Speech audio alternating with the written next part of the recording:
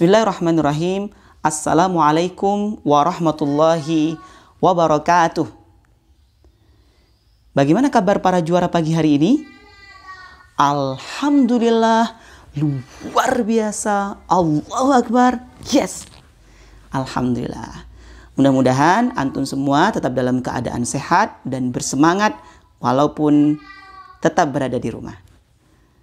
Taib, di pertemuan kali ini Ustadz ingin menyampaikan rasa syukur yang tak terhingga kepada Allah Subhanahu wa taala atas kenikmatan yang selalu kita rasakan sampai dengan detik ini. Uh, berbicara tentang kelas 6, antum nih yang sekarang sudah kelas 6, mulai dari Mas Abid sampai dengan Mas Haidar, Mas Gifari, ya. Seluruh kelas 6 yang berjumlah 14 ini uh, nggak terasa ya, antum itu sudah melewati masa-masa di kelas bawah kelas 1, 2, 3, 4, bahkan kelas 5 sudah lewat. Udah lima tahun lebih antum berada di sekolah. Walaupun ada beberapa yang uh, hadir bersama kita di kelas uh, 2, ada baru gabung di kelas 2, ada yang kelas 3, ya. Nah, tapi secara umum antum adalah Eh, murid-murid Insan Tama yang sudah lima tahun belajar bersama di Insan Tama. Nah,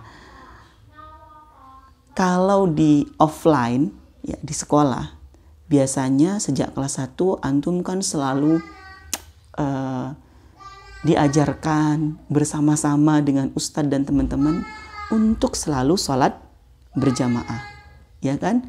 Nggak ada anak-anak yang ketika waktunya sholat berjamaah di sekolah, lalu dia nggak sholat berjamaah. Ngumpet di kantin. Nggak ada, karena memang insan taman nggak punya kantin. Nggak ada. Oh, ada di kelas. Sholatnya sendirian. Nggak ada. Semuanya dilatih bersama-sama setiap hari untuk sholat berjamaah. Wabil khusus sholat zuhurnya. Sholat duha, latihan juga sholatnya bersama-sama karena memang masih perlu pembenaran bacaan sejak kelas 1 sampai dengan kelas-kelas selanjutnya. Nah, pertanyaannya, apakah kebiasaan sholat berjamaah kita di sekolah itu hanya cukup untuk kita budayakan di sekolah? Atau terus kita budayakan dan terus kita jaga walaupun kita tidak sekolah? Nah, oleh karena itu, di BSI kali ini Ustadz ingin menyampaikan bahwa sekolah kita, para guru-guru antum semua, mengajarkan kebiasaan sholat berjamaah itu bukan untuk menjadi peraturan sekolah saja. Bukan untuk menjadi rutinitas yang ada di sekolah saja. Karena sejatinya guru-guru antum, ustadz dan ustadzah mengajak antum semua untuk membiasakan sholat berjamaah itu agar kita paham bahwa sebenarnya Islam Allah Subhanahu wa taala dan rasulnya memerintahkan kita untuk menjaga sholat jamaah ini. Karena sholat jamaah atau sholat secara umum itu adalah apa? Masih ingat? Tiang agama. Oh, tiang agama. Pondasinya ini itu Mas Ibrahim hafal banget itu. Dan uh, ikhwan dan akhwat di kelas 6 insya Allah hafal banget. As-salatu imaduddin. Salat itu tiang agama. Dulu bahkan ketika insan tama masih di Kaliurang ada tulisannya besar. Ya Ustaz masih ingat banget. Nah ketika itu menjadi sesuatu yang berasal dari perintah uh, syariat perintah agama tentunya kita melaksanakannya dengan kesadaran penuh bahwa yang memerintahkan sholat ini bukan ustadz saja. Ustadz membantu menyampaikan perintah sholat yang diperintahkan Allah dan Rasulnya. Guru-guru antum menyampaikan syariat itu. Mengajak antum untuk terbiasa melakukan itu. Dan ustadz sendiri juga punya kewajiban untuk itu. So, mudah-mudahan antum semua walaupun di rumah tetap terjaga sholat jamaahnya. Ada yang tahu nggak keutamaan sholat jamaah itu seperti apa? Masih ingat? 27 rakaat. bukan 27 rakaat, 27 derajat. 27 derajat kemuliaannya. Dari mana taunya? Ustaz bacakan hadisnya ya. Qala Rasulullah sallallahu alaihi wasallam, salatul jama'ati tafdulu salatal fadhi bi sab'in wa ishrina darajah. Salat berjamaah itu lebih utama daripada salat sendirian 27 derajat. Nah, hadis ini diriwayatkan oleh Imam Malik, Imam Ahmad, Imam Bukhari, Imam Muslim, Imam At-Tirmidzi, Imam Ibnu Majah, Imam An-Nasai dari sahabat Ibnu Umar radhiyallahu anhu.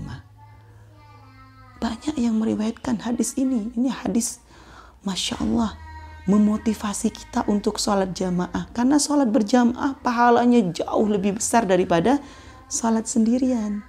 Wabil khusus kalau antum pernah mendengar, insya Allah pernah dengar bagaimana kisahnya sahabat uh, Ibnu Umi Maktum. Ya. Yeah. Ketika beliau itu lapor kepada Nabi, dia ya Rasulullah kurang lebih nih ya, kurang lebihnya Rasulullah, saya ini orang yang buta. Apakah saya masih harus uh, pergi ke masjid untuk salat jamaah? Apa jawab Nabi? Apakah Nabi menjawab, "Oh, buta ya, sakit ya, nggak perlu deh ke masjid. Nggak apa-apa, di rumah saja sholat sendiri. Kata Nabi, apakah engkau mendengar adzan? Iya, kata sahabat. Kalau mendengar adzan berarti nggak ada rukhsah bagimu tetap pergi ke masjid. Artinya apa?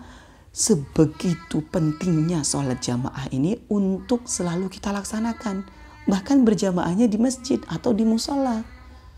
Nah, maka dari itu Ustadz mengingatkan antum dan kita semua di forum BSI ini untuk selalu menjaga kebiasaan sholat berjamaah lima waktu.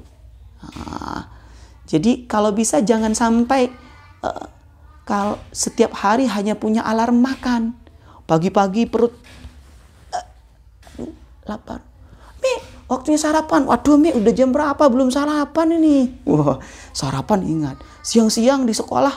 Uh belum waktunya makan siang. Belum bel. Ustadz udah lapar Ustadz. Ingat dengan makannya. Pas sholat aja masih ingat makan. Masya Allah. Nah, waktunya uh, malam, pada maghrib, ingat makan. Seakan-akan kalau nggak makan dia resah, gelisah, gundah. Waduh belum makan, waduh sakit. Muslim yang baik, Muslim sejati adalah dia yang punya alarm sholat lima waktu melebihi alarm-alarm yang lainnya. Dia memiliki pengingat dalam dirinya untuk melaksanakan sholat jamaah lima waktu lebih daripada pengingatnya tentang hal lain selain sholat. Urusan makan dia ingat, dia lebih ingat lagi tentang urusan sholat. Bahkan ketika makan dia itu sudah ingat. Uh, dia ingat tentang makan pagi misalkan. Dia masih terngiang-ngiang. Sholat subuh tadi aku Alhamdulillah sholatnya berjamaah. Uh tadi imam saya sholat. Ketika sholat baca surat. Uh Al-Baqarah yang dibaca. Oh, misalkan. Tapi 10 ayat. Uh duhur setelah... Uh, setelah sholat zuhur kan lagi makan siang. Makan siang yang diingat apa? atau dalam aktivitas yang lain dia ingat sholatnya. Artinya sholat jamaah lima waktu benar-benar uh, terinstal dalam dirinya, benar-benar uh, ada dalam dirinya seutuhnya untuk selalu dia rindukan, dia butuhkan. Dia nggak nyaman kalau dia sudah mendekati waktu sholat belum siap-siap sholat. Dia nggak nyaman Kalaupun suatu saat misalkan pernah sesekali terlambat bangunnya pagi hari, dia itu sangat merasa menyesal. Aduh, kok telat. Dan seterusnya. Muslim yang baik, para juara yang hebat, wabil khusus siswa-siswi kelas 6 adalah mereka yang selalu punya uh, reminder, punya alarm dalam dirinya untuk menjaga kebiasaan sholat berjamaah lima waktu. Mudah-mudahan kita semua menjadi muslim yang baik, menjadi muslim yang selalu menjaga sholat lima waktu kita dengan berjamaah. Hadanallahu ayyakum ajmain. Assalamualaikum warahmatullahi wabarakatuh.